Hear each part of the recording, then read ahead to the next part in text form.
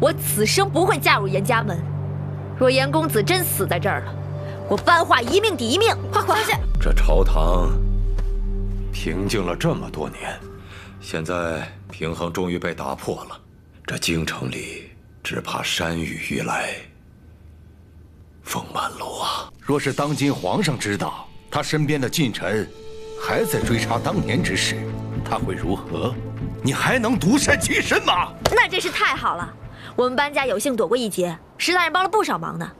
我来这一路上还在想，送你点什么礼物好，但是也不知道石大人喜欢什么。现在好了，不如啊，我把祖父这套回马枪交给你，当做礼物如何？那如我好心赐你块宝皮，可你却一心只想着石敬的伤，连看都未曾看我一眼。你还不顾自己的名节，直接闯进人家卧房去送药。送药也就罢了，你还亲手给他上药。据说你又将容某置于何地？若我今日只想问你，你为何要这样做？那师弟替我猎白狐受了伤，我送药是人之常情。我不过是吃了几口，他打的野鹿至饥，却被你这么曲解。